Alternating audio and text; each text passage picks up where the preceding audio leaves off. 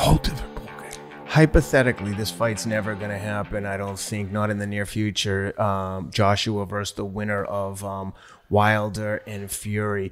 But if you're Joshua, who would you prefer? Hypothetically, if you had to fight the winner, who do you think Joshua wants to see win that fight? Who does he stand a better chance against in his mind, Fury or Wilder?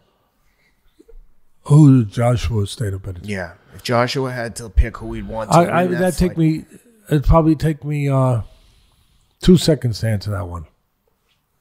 Fury, because because the power uh, would not be there. The the danger, the the sledgehammer, the guillotine, over. You know, and and uh, that the element that could bring ghosts back. You know, Joshua has been exercised, but the ghost could come back. You got to be ready. You get Ghostbusters.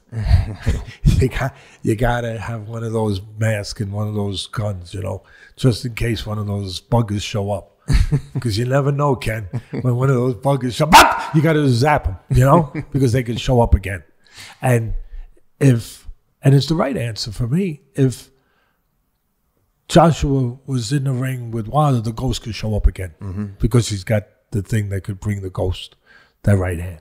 and no one's been able to avoid it for 12 rounds, including Fury. So, I so much better off for Fury because Fury you can get away with shenanigans. Mm-hmm. You could you could play. I'm, I'm not making this frivolous and and lighthearted. I never do that to this sport. But you can play around with Fury. You can you can box. You can steal time. You can you, you can you can get a break. Yeah, Wilder's always looking for the right hand. You know, he's always in search and destroy mode. It's a it's a different it's a different feel. It's a, it's- it's a whole different hunt, if you will, when you're going out there hunting. So it's it's it's different. So Fury, yeah, he's big, he's agile, he he's technically maybe the most sound of the heavyweights. I give him credit for all that, and he's got a great story.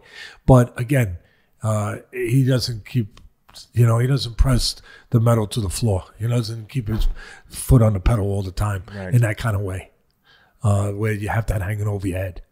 So yeah, in a second, in a second, Fury, and that's no knock on Fury. I'm just showing the differences. That's all. how do you get the top three in the heavyweight division ranked right now?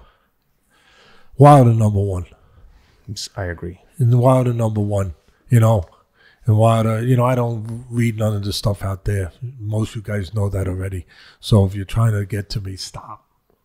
It don't work that way. I don't mean in a good way, in a, in a bad way. If you're trying to like, I don't read it.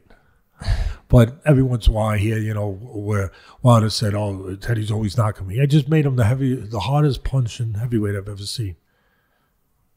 Oh, So is it knocking or is it pointing things out? is Anyone it who thinks or he's knocking you, he hasn't listened to the show himself. Because if he does, he know that we're big fans. we like well, him. no, no. just- we- but if I point out, if I point out, I don't like everything about him. I'm- I'm, not gonna lie. But if if I point out what he does wrong, that's knocking him, or is that pointing out what he's doing wrong? Exactly. Uh, from my seat. Yeah. And and hardest punch of punch for one punch, hardest punch I've ever seen in the heavyweight division. That's pretty damn good. Is that a knock? Well, I don't think so.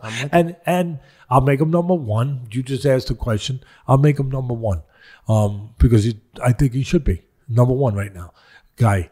Uh, and then uh, and then number two, number two, I would make Fury, and uh, and then Joshua. I yeah. agree. Yeah, I would agree with and that. then my uh, go ahead, put another dot in my nose. that's worth at least one more. That's worth uh, right, mates. That's worth at least one. All right, you got me. Okay. Love you guys. Of course, upon really, love yous.